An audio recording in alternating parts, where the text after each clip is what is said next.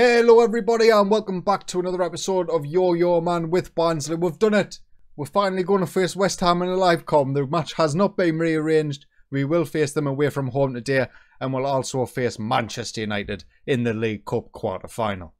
But of course, there's been some fixtures to review since the last time we met, the first of which was a 3-1 away win against Hull City. Dimitri Bisoli had put us in front five minutes in, but Auba Zanelli equalised for Hull in the 36th minute, but Malik Wilks with a double in the 74th and 89th minute gave us the win.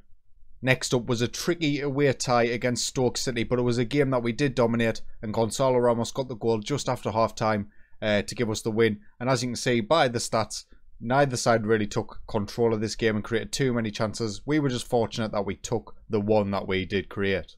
Next up was a 3-0 demolition of Swansea, but it didn't quite look that way. In the 70th minute, things were still at 0-0, but Esposito ended up getting the first goal of the game. Cauley Woodrow came on for Reiss Nelson on the left wing and bagged himself a brace in the 79th and 85th minute.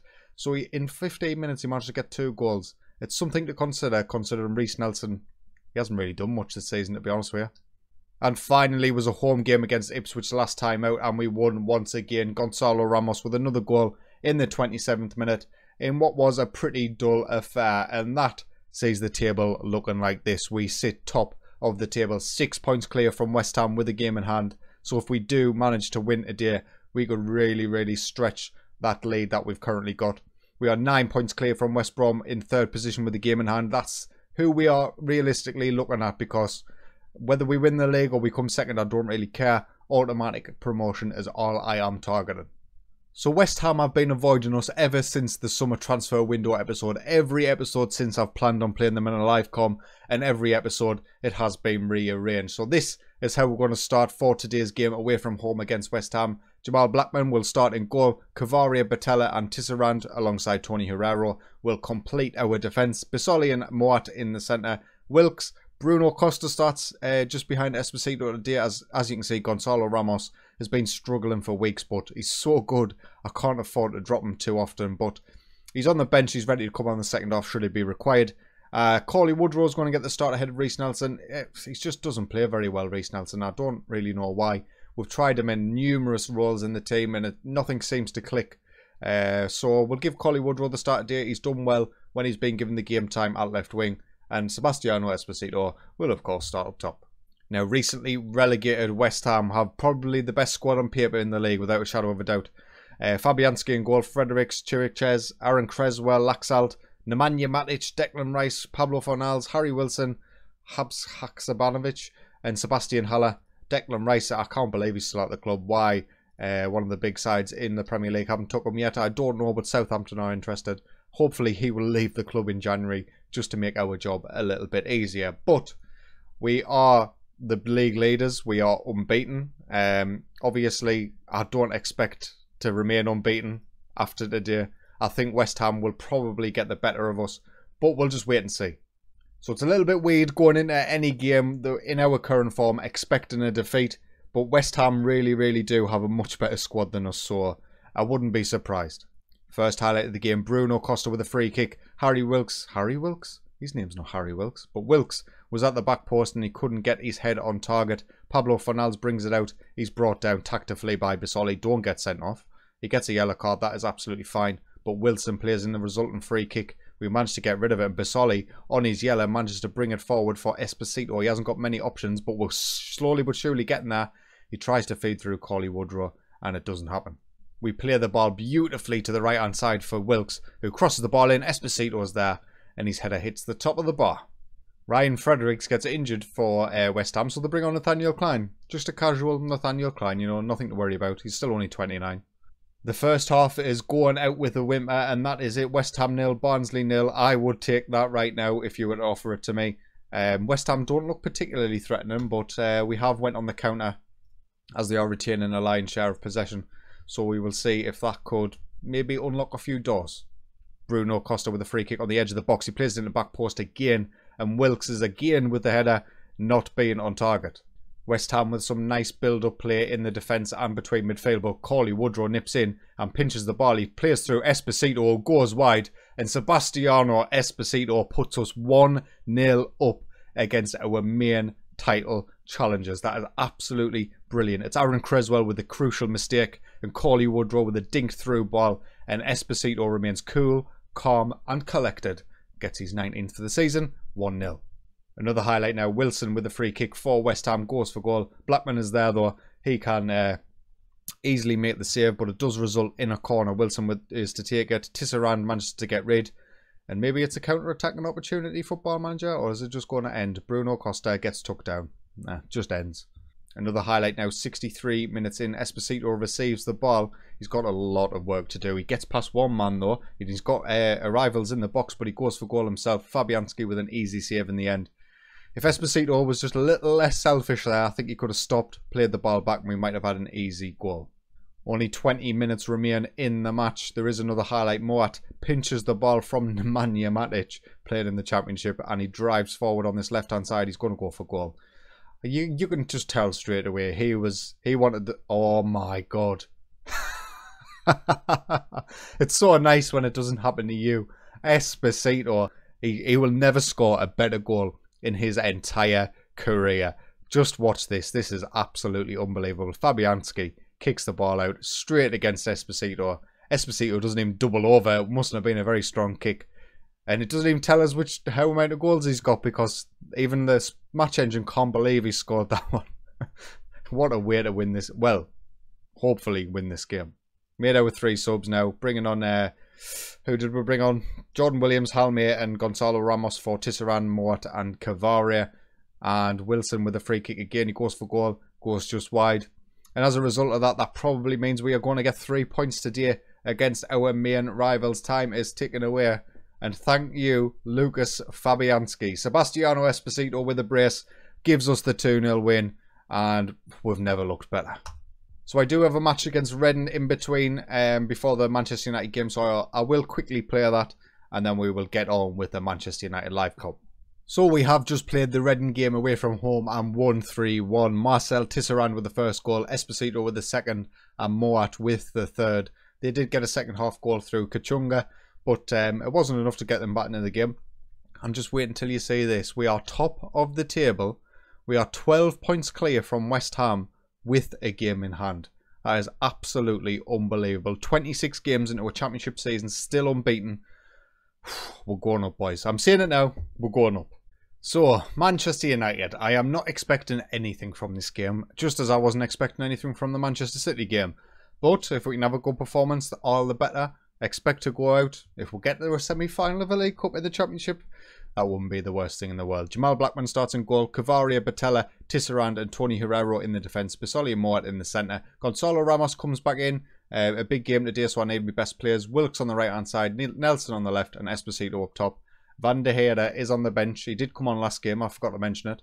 Um, his stats have decreased, but not like massively. So hopefully we'll be able to resurrect him in the second part of this season. But um, for now, we just need to ease them back into things. Let's get the kick off and see how we get on. We are going to go cautious straight from the off here. just, you know, it's Manchester United we're playing. First highlight of the game, Luis Alberto with a free kick for Man U. Wan-Bissaka receives it. Uh, playing a bit about between themselves, not really creating the space, but the switch they play to Marcus Rashford on this left-hand side who goes for goal and hits the post. I suspect there's going to be a lot of highlights today, um, and I would love to say it's going to be a lot of hours, but I don't think it will be. Marcus Rashford receives the ball from Allen and goes for goal and hits the side net. Luis Alberto with a corner, 10 minutes in, it's played in, it's cleared by Tisser, uh, Tisserand, but Marcus Rashford can reclaim the ball. We don't even look like we're in this game, to be honest. Lautaro Martinez tries to play it to the back post, it gets blocked, it comes out to Wan-Bissaka on the right-hand side. Martinez is there, hits the bar. we're, we're hanging on, hanging right on. So as you would imagine, Manchester United having the majority of the possession and a large percentage of the shots. But we are going into the uh, half time, it's ticking away. And if we can get in at nil-nil, I'd be absolutely delighted. Um, yes, I'd be absolutely delighted. And that's it. Half time. Manchester United nil. Barnsley nil. We'll kick off for the second half. No need to make any changes. We'll see how the boys get on in the second. Highlight now, 52 minutes in. Could it possibly be our first attack of the game? No. Marcus Rashford defends well and finds Martinez. A great challenge by our defender, but Allen and again Batella What an absolute monster he is. We give the ball away though, just panicking at the back when we have it. Not our usual calm, composed selves that we are in the league. Banega finds Marcus Rashford in the box. Great block by Cavaria. No, no, no, no, no, no, no, not like this. Good save. I mean, that would have been embarrassing, really, wouldn't it? Corners to be taken, though. Luis Alberto is going to be the man who takes it. Tisserand is defended excellently from set pieces today. And hopefully that's the highlight over. If we could take these to a penalty shootout, I will be absolutely delighted. Not that I expect our boys to be able to win, because, um, you know, we haven't got the best penalty takers in the world. But we did beat Southampton in the second round off penalties. So this is our third Premier League opposition in a row in the League Cup. So the fact that we're even here is absolutely unbelievable. Luke Shaw switches the play to Gerard Deulofeu, but Tony Herrero is equal to the challenge. And maybe we could pounce at an attack of our own. Herrero's driving forward. Decent challenge by Deulofeu. And uh, Man United are likely to counter-attack. Or are they? David Patella brings it down. Tries to find Esposito. Comes to Wilks on this right-hand side. Cavari is overlapping. Please find him. Gonzalo Ramos goes for Reiss Nelson instead. He's in the box. He goes for goal. He finds Esposito. and completely, undeservedly, 60 minutes in, Esposito's 22nd goal of the season puts us 1-0 in front with only half an hour remaining. This would be the ultimate of smash and grabs. Reiss Nelson tries a couple of times to get the ball in. He eventually makes it. And Esposito's on hand to bury it. 67 minutes in now. Manchester United with a corner. Blackman comes out and claims it nice and easily, but he gives the ball away way too cheaply. Martial must have came on. He's on this left-hand side. And an absolutely unreal save from Blackman. And that is absolutely fantastic. Another corner for Manchester United. It's going to happen one of these days if we keep giving them corners. Martial, he's still got the ball. Greenwood, what a save. Oh my God, I think we've got Superman in goal. Please get rid of this. Greenwood over the bar. 20 minutes remain. Come on, boys. Oh my god, there's only 10 minutes to go. I'm not making any changes as things stand. The way the boys are playing is absolutely superb. Um, backs against the wall, but we are making it work. Small and long ball over the top. Mark Mason Greenwood's in behind. He's on a tight angle. Blackman with another good save. Eight minutes. Eight minutes to survive. That's all you've got, lads. You survive for 82. What's eight minutes between friends? And I tell you what, give him, give him MBE. He's an absolute legend. Another highlight now. Wilks receives the ball from Cavaria, tries to set away at Esposito. He nods it back to Gonzalo Ramos and Cavaria. He gets to the byline. Is he going to cross this in? He is. Nelson to Mowatt, and it's 2 0. Absolutely unbelievable scenes. Only five minutes to go, and we find ourselves 2 0 up against Manchester United. You know what it is with Football Manager? When you're winning, you are winning. And even against a team who should be easily smashing you, we have proven that form is class. Absolutely brilliant stuff. 86 minutes gone now. This is surely us through to the semi-finals. We'll look to make our changes. We'll bring on Aapo Halme. We'll bring on Cauley Woodrow. And we'll bring on Arjen van der Heide on that right-hand side. Give him a couple of minutes of game time. And that is the match ticking away. And we are through to the League Cup semi-finals. Esposito and Alex Mowatt are the players who get the goals. But Jamal Blackman, I tell you what, he was an absolute legend in Gualtadir. Fantastic stuff. Unbelievable scenes. We've beat Southampton. We've beat Man City. And now we've beat Manchester United in this run of the League Cup. Absolutely unbelievable stuff. In terms of the other players, other teams still left. Chelsea, Liverpool, Bournemouth. Bring them all on. We'll take them all. Whew, bit of a come down now after that. We've got unknown gate. Oh, you, sorry, lads. It's not going to be a January transfer window special. It is going to be Crystal Palace in the FA Cup third round and whoever it is in the League Cup semi-final, we've got to bring that. Although, actually, I tell you what, it is going to be, it's going to be a very long episode. It's going to be the two League Cup semi-finals. Um, we'll play them both in the same episode, but we'll also wrap up the January transfer window in that period as well. So it's going to be, it's going to be a long one. But anyway, if you have enjoyed today's video, please consider leaving a like. And if you are enjoying my content, get yourself subscribed. But until next time, take it easy.